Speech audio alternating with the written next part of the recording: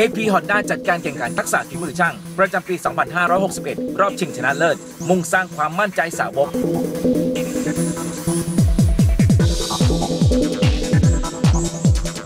คุณสุธาชินีพิชัยธรรม ผู้จัดการทั่วไปส่วนงานบริการลูกค้า พร้อมด้วยผู้บริหารฝ่ายต่างๆ ของบริษัท AP Honda จำกัด ร่วมพิธีเปิดการแข่งขันทักษะฝีมือช่าง ครั้งที่ 24 ประจำปี 2561 Honda Mechanic Skill Contest 2018 ซึ่งมีนายช่างจากร้านค้าต่างๆ ทั่วประเทศฝ่าด่านเข้ารอบชิงชนะเลิศถึง 53 คนด้วยกัน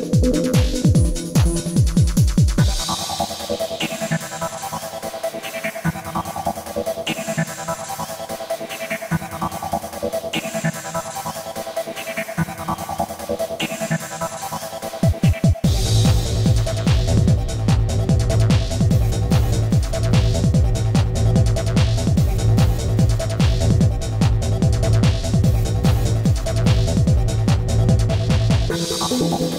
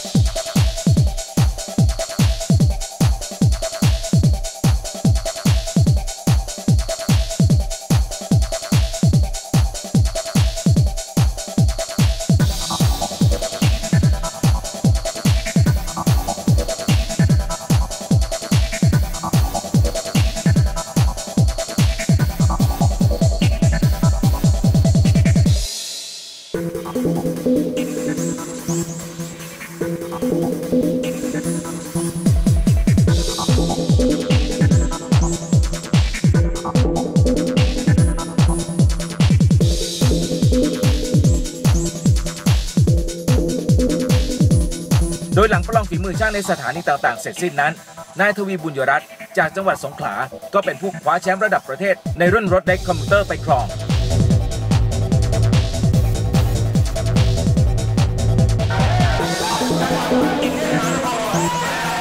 ส่วนในประเภทบิ๊กไบนั้น แชมป์ประเทศไทยตกเป็นของนายสุมิตรเชื้อเงิน จากจังหวัดนนทบุรี ซึ่งแชมป์ทั้งสองประเภทนี้ จะได้รับโอกาสในการลงแข่งขันระดับเอเชียโอเชียเนียต่อไป